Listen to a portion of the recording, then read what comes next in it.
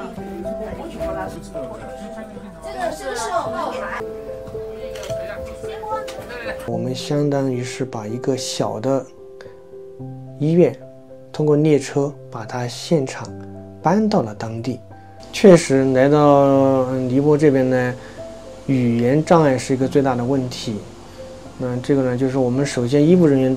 得有丰富的知基础知识，然后呢，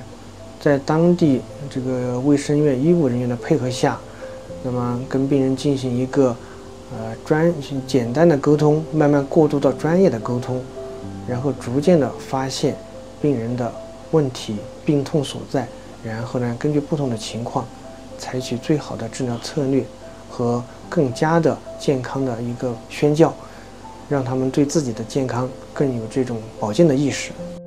呃，无视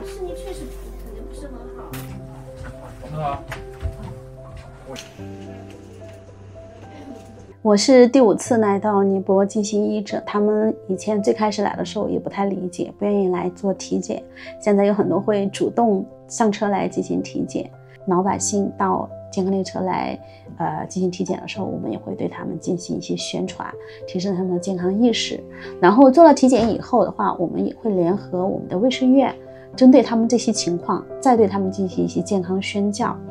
嗯，为了提升这个当地的一些，就是我们的卫生健康工作人员的一些工作能力。嗯，我们也组织我们的专家有针对性的对他们进行一些培训，就是因为我们健康列车可能长时间的驻扎在这里，最终还是要依靠当地的这个卫生技术人员，所以我们呢对他们长进行培训，然后给他们建立长期的这种联系，呃，通过这种方式，甚至我们还建立了这个远程的一些帮扶的这么一些模式。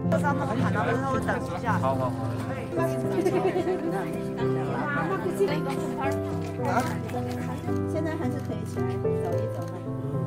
走一走，你走走一走，我们。